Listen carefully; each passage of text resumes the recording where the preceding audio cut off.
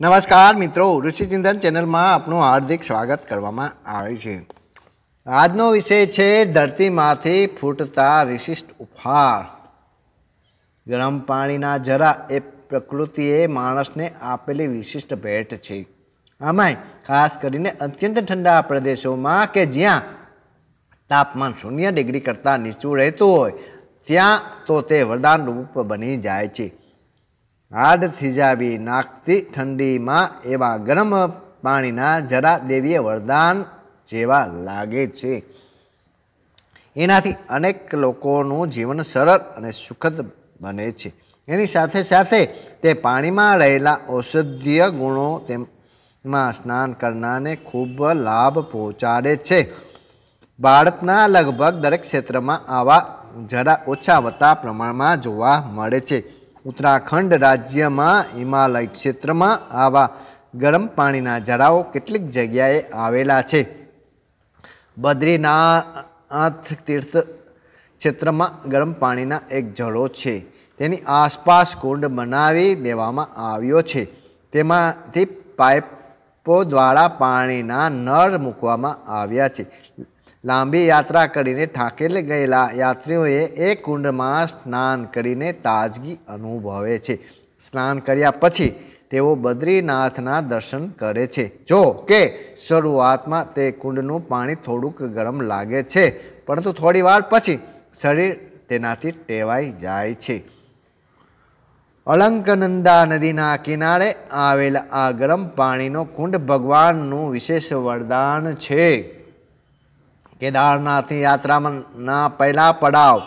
એવા ગોવળીકુંડમાં પણ આવા ગરમ પાણીના ઝરા આવેલા છે. જોકે બે હજાર સોળમાં ત્યાં થયેલી જળ હોનારતના કારણે તે નષ્ટ થઈ ગયા છે. એમ છતાં, હજુ પણ તેમાંથી ગરમ પાણી નીકળતું રહે છે. તે પાણી સહન કરી શકાય એટલું ગરમ છે.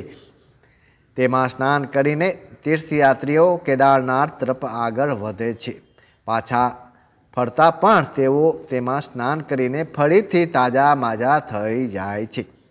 એવી માન્યતા છે કે માતા પાર્વતીએ પોતાના આરાધ્ય ભગવાન શિવને પ્રાપ્ત કરવા માટે ત્યાં તપ કર્યું હતું. યમનોત્રીધામમાં પણ આવો ગરમ પાણીનો કુંડ છે. તેને સૂર્યકુંડ નામે પણ ઓળખવામાં આવે છે. તેનું પાણી ખૂબ ગરમ રહે છે.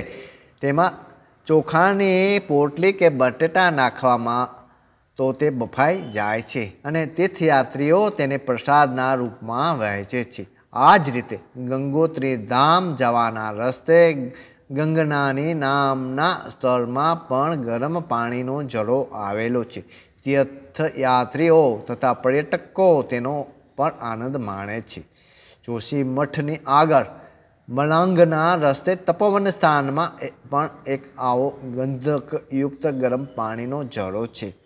કુમાઉના મુનશિયાળી ક્ષેત્રમાં શહેરથી વીસ કિલોમીટર દૂર મર્દકોટ નામના સ્થળે ગૌરી ગંગા નદીના ડાબા કિનારા પર ગરમ પાણીનો ઝરો આવેલો છે. તેના પાણીમાં ગંધક તથા ચૂનાનું વિશેષ પ્રમાણ જોવા મળે છે. તે જળાના તળિયે રહેલા સફેદ તથા લાલ રંગના ખડકો જોઈને તેનું અનુમાન કરી શકાય છે કે ચામડીના રોગો યો માટે આ પાણી ખૂબ ઉપયોગી છે એવું માનવામાં આવે છે. આ જ રીતે હિમાલયના પહાડી વિસ્તારમાં કેટલાય જળા છે તે લોકોની યાત્રાને સરળ તથા સુખદ બનાવે છે. શિમલા નજીક સતલજ નદીના કિનારે તથા પાણી નામના સ્થળે નદીના કિનારે ગરમ પાણીનો ઝરો છે. ત્યાં ખુલ્લી હવામાં યાત્રીઓ સ્નાનનો આનંદ લે છે. એ પાણીના સ્નાન કરવાથી ચર્મરોગો તથા સાંધાના રોગો મટી જાય છે.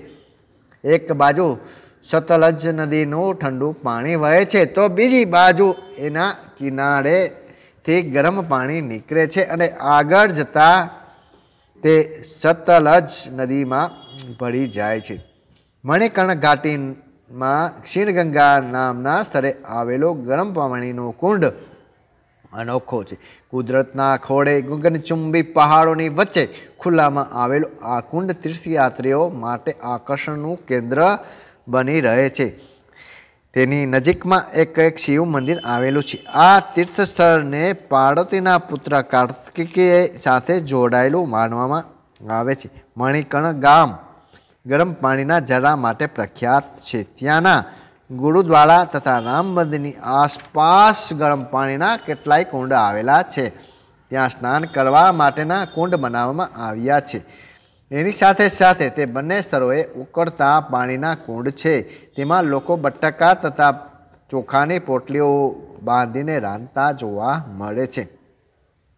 પછીથી તેઓ તેને પ્રસાદના રૂપમાં વહેંચે છે. તે ગામમાં પાઇપો દ્વારા એક કુંડનું ગરમ પાણી પહોંચાડવામાં આવે છે. મનાલીની નજીક આવેલા વશિષ્ઠ ગામમાં પણ આવા ગરમ પાણીના ઝરણા છે. અહીં ઋષિ વશિષ્ઠ તથા ભગવાન રામનું મંદિર પણ છે. ત્યાંના પાણીને પણ ઔષધીય ગુણોથી યુક્ત માનવામાં આવે છે. મનાલીથી છ થી સાત કિલોમીટર દૂર આવેલા કલાર્થ નામના સ્થળે પણ આવા ગરમ પાણીના ઝાડા છે. જો કે થોડા સમય પહેલાં બિયાસ નદીમાં આવેલા પૂરના કારણે તે ઝરાઓને મોટું નુકસાન થયું છે. હિમાલયમાં લદાખ ક્ષેત્રમાં પનામિક સ્થાન પર નુબડા ઘાટીમાં પણ આવા ગરમ પાણીના ઝરા છે. ત્યાંનું પાણી એટલું બધું ગરમ હોય છે કે કોઈ એમાં હાથ પણ નાખી શકતું નથી. એ જ રીતે પૂર્વોત્તર ક્ષેત્રમાં પણ આવા કેટલાક ઝરા છે. સિક્કિમના પંદર હજાર પાંચસો ફૂટની ઊંચાઈ પર આવેલા યુમેશમોડોગ નામના સ્થળે ગંધકયુક્ત પાણીના એક ડર્જન કરતાંય વધારે ઝરા છે. તેમનું તાપમાન ઓગણસાઠ સેન્ટી ડિગ્રી રહે છે. આ જ રીતે સિક્કિમમાં રેશી બોડોંગ રેલોંગ તથા યુમથંગ નામના સ્થળોએ ગરમ પાણીના જરા છે. તે તેમના ઔષધીય ગુણોના કારણે પ્રખ્યાત છે. આ ઉપરાંત ભારતના બીજા રાજ્યોમાં પણ આવા જરા છે. તે ઔષધીય મહત્ત્વની સાથે માનવિક મહત્ત્વ ધરાવે છે. એ બધા સ્થળોનું ભૌગોલિક કારણ તો પૃથ્વીના કેન્દ્રમાં રહેલા લાવારસને માની શકાય. તે પૃથ્વીની સપાટી પર રહેલા પાણીને ગરમ કરે છે તથા અંદરના દબાણના કારણે ગરમ ઝરણાના રૂપમાં ફૂટી નીકળે છે. એમની સાથે જોડાયેલા આધ્યાત્મિક પ્રસંગો તેમને આસ્થાનું કેન્દ્ર બનાવે છે. એની સાથે સાથે સખત ઠંડીના દેશોમાં તેમનું ગરમ પાણી મનુષ્ય તથા બીજા પ્રાણીઓને રાહત આપે છે.